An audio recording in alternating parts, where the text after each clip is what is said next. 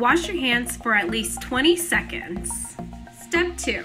Use two spoons. Make sure to use the back side towards the teeth and hold the cheeks away and bite down. We recommend that a friend takes a picture for you. Step 3. Use one of the spoons and place it behind your cheek. Bite down all the way and then have your friend take the photo. Step 4. Repeat step number 3, but on the opposite side.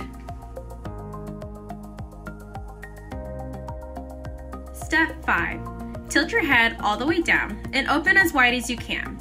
Take your tongue and touch the roof of your mouth and then have your friend take the picture. Step 6.